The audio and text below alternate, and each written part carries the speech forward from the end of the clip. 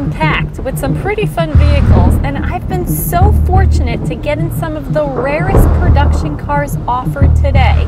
But this AMG is by far one of the most unique experiences I've ever had. And I don't necessarily mean that as a good thing. Let me explain. This AMG GTR is not just an amped up version of the base AMG GT. Oh no, that's, that's just child's play for the team at Affalterbach. Take, for example, the front fenders. These giant bulging fenders that extend way out. Well, this entire piece is carbon fiber. Now, I know many of you may be watching this on your phone, a computer, and you may not be able to see as clearly, but I have been examining this very closely, and I didn't notice any discoloration or color shift when going from a carbon fiber part to a metal painted part. That is seriously impressive.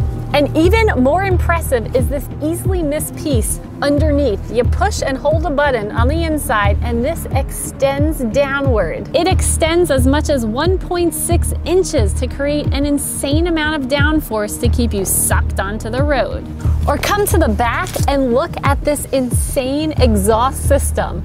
Unlike the normal GT, this is a titanium exhaust system, and by utilizing this system, it saved 13 pounds of weight. And you see the gap right here? That's not some sort of odd design choice. That opening is a channel to let hot air escape and prevent heat soak in the rear. Even this trunk, just like the Nismo GTR that I reviewed like a month and a half ago, which by the way, the link is down below, it utilizes a sort of carbon fiber polymer to save even more weight. And you might ask what all this reinforced rigidity and weight savings does.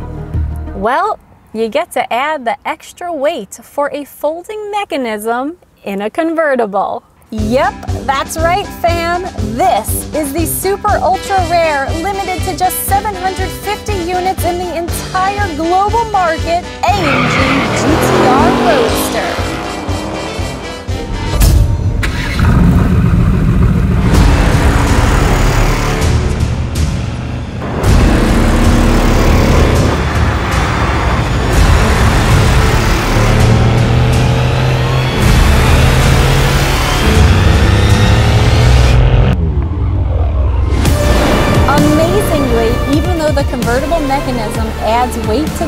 Vehicle, the reinforcement that they did to the car still allows it to hit near identical 0 to 60 times as the coupe version at 3.5 seconds and the final top speed is 1 mile per hour slower at 196 instead of 197.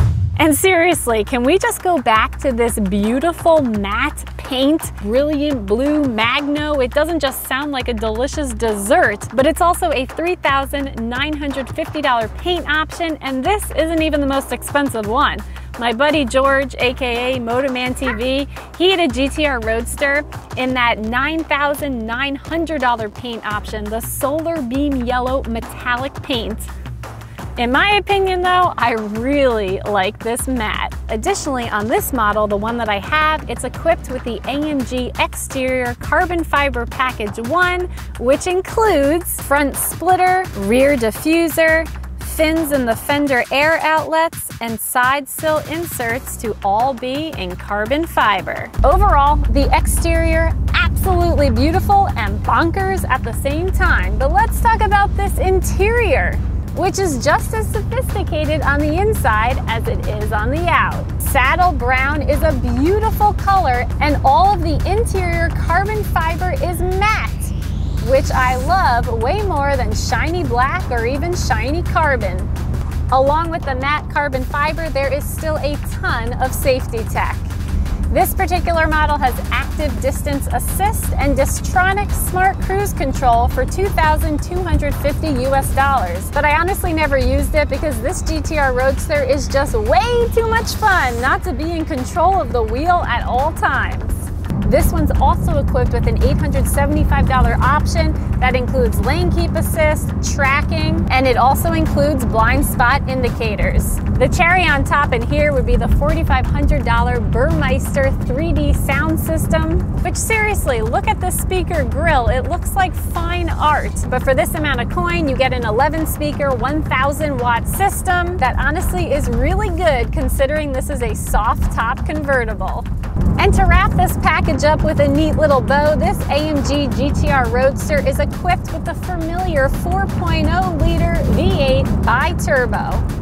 You've seen me review this in the GLC 63, the Vantage, yet in here it produces 577 horsepower, 516 pound-feet of torque, and it's mated to a seven-speed dual-clutch transmission. And what's even more amazing is that this includes rear-wheel steering. And with a wider overall track and wider tires, this GTR Roadster is absolutely planted to the asphalt. I have to give the engineers a lot of credit. The steering wheel feel in here is laser locked on and this car handles phenomenally. So if all of this sounds so amazing, then what part of this isn't good? Well, for starters, I was not gifted with tall German jeans, and apparently Mercedes wants to remind me of my vertical limitations, as I have zero seating position that makes sense. You see where I'm sitting? This is where I'd like to be in relation to the pedal and the steering wheel, but now I can barely see out my right side mirror unless I lean back and move over. So thank God for the blind spot monitoring system. It's been very helpful, especially when it starts to rain like this. Oh, and on top of that, I don't have any rear visibility either because my line of sight gets cut off by plexi. So my only option is to drive forward and fast.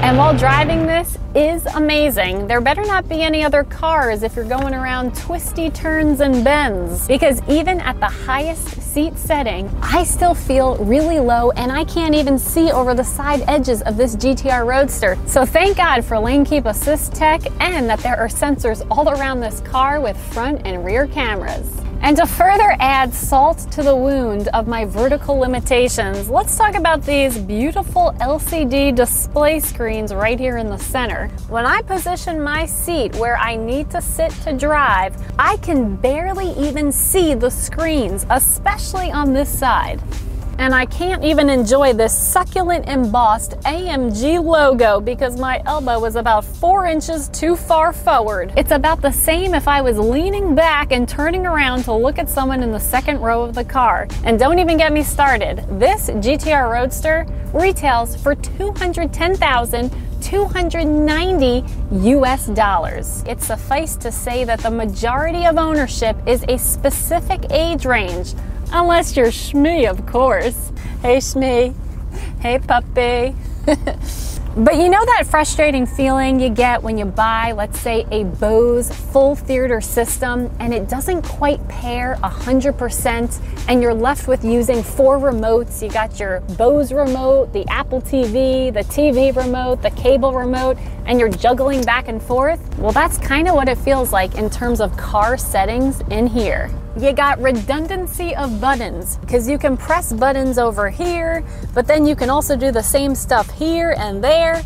And then you got display screens changing here and there. It could be extremely confusing for someone, and it's not necessary because the steering wheel honestly is designed perfect. It's so easy, so smooth. You don't even need all this redundancy and buttons especially someone like me who can barely even see it. And if that wasn't complicated enough, this doesn't even have the updated MBUX. It's like the first generation, so I can't even talk to it like I did in the A220. But speaking of tech, at least there's Apple CarPlay and Android Auto in here. But CarPlay utilizes the full screen, and Android Auto, well, it's cropped. But at least it technically supports both. Wow, that rain is really coming down. Shh, it's like ASMR. Now listen to the raindrops as they hit the soft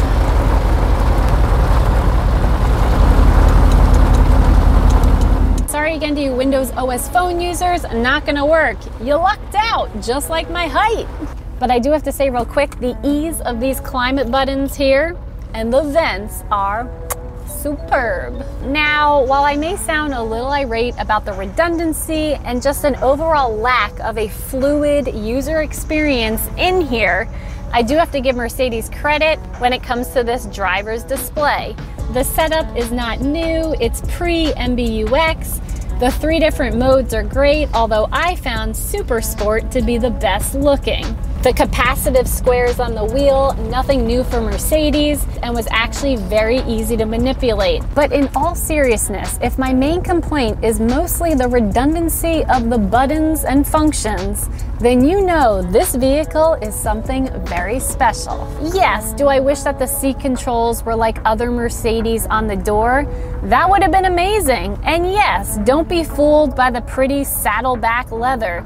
These seats are not made for comfort. Oh no, they are full on race seats. In fact, there are holes for you to add harness points. This AMG GTR Roadster is like a wolf in sheep's clothing. And even then, it is scantily clad clothing. There's no mistaking this for any of the softer S or C variants in the GT lineup. But what's absolutely bonkers is that Mercedes obviously already did this in the coupe form, which totally makes sense.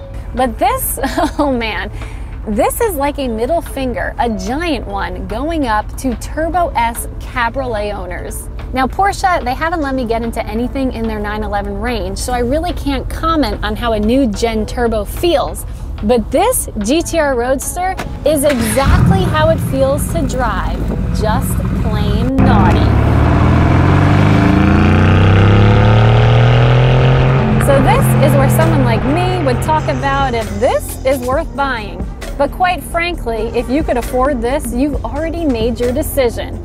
In fact, this entire episode really isn't a review for discerning buyers. This is a reminder that Mercedes isn't just focused on churning out vehicles and making sure they maintain their number one seat in global luxury sales. This episode is to remind viewers that there is a not so little factory tucked away in a quaint German town that produces Frankenstein works of art for the Silver Star.